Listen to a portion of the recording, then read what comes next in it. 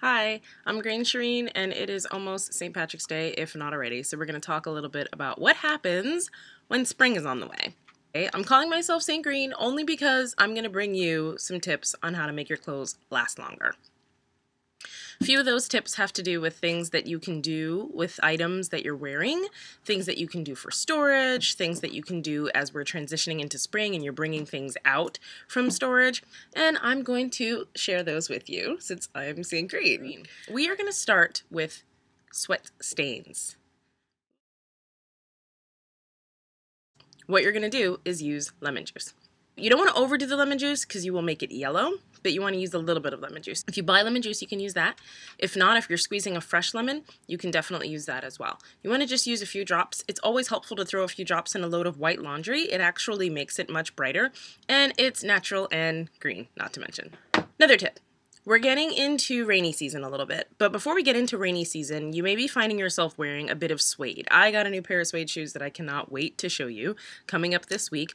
But how do you clean suede? What happens when something gets on suede? Strange but true.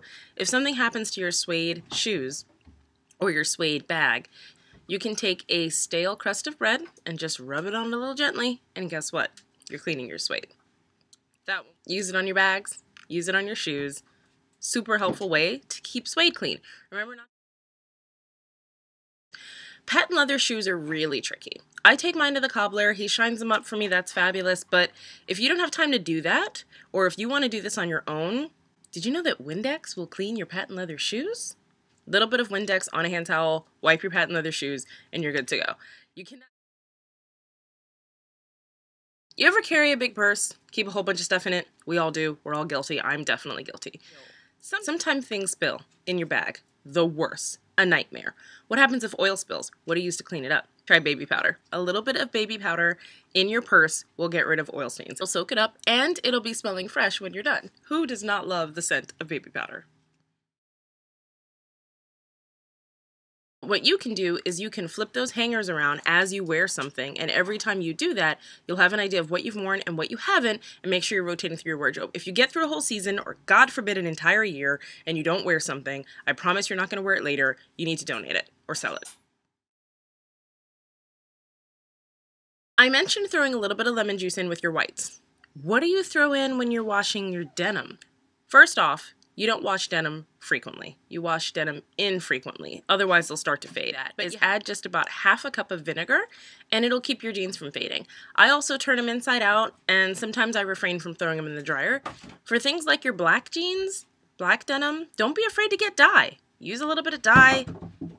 I love my black jeans, uber black, and I will definitely dye them to keep them that way.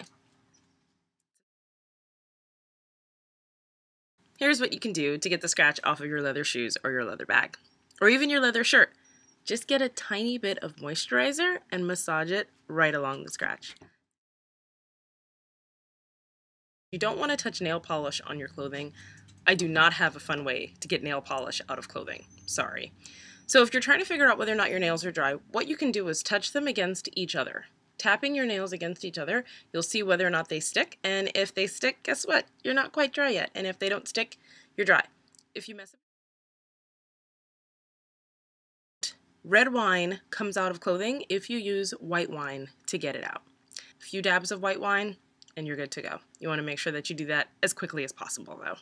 if you're getting your clothes out for storage, if you're just going into change seasons, I've given you a ton of tips on how to make sure that you're optimizing the use of your clothing and keeping as much of your wardrobe as possible, even your shoes, your handbags. Just to run through it again, lemon juice will get the sweat stains out of your clothing.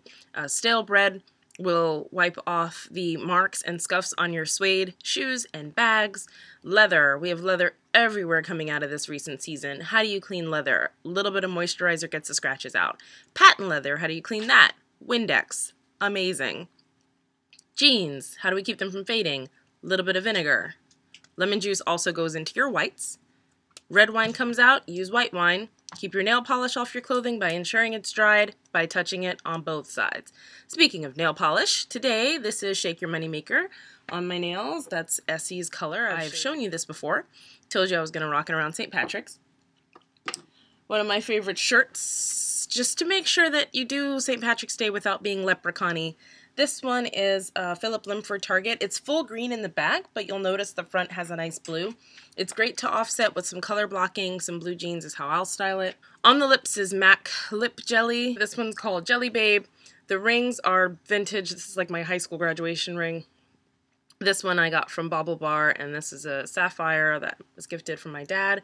My watch is Michael Kors. The bracelets is what I call a stack attack over here. Various Cartier and some gold that I bought down in Panama.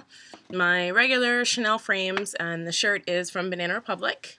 That's it. I just want to thank you for watching. I appreciate it so much. God bless. Bye.